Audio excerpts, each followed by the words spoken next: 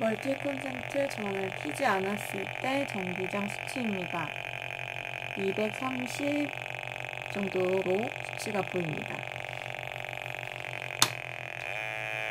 멀티 콘센트를 켰을 때 전기장 수치입니다.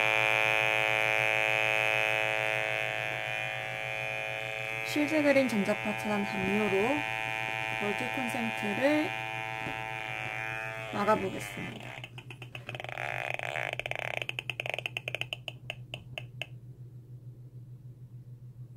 수치가 1점대로 떨어지는 것을 볼 수 있습니다.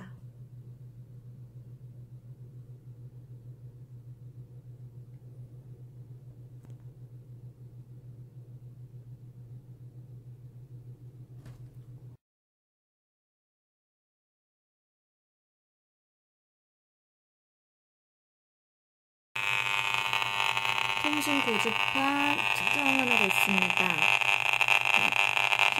그린 전자파처럼 담요로 틀어내 보겠습니다.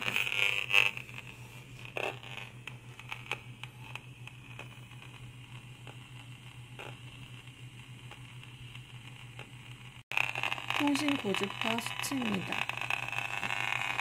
실드 그린 전자파 차단 셔츠로 차단해 보겠습니다.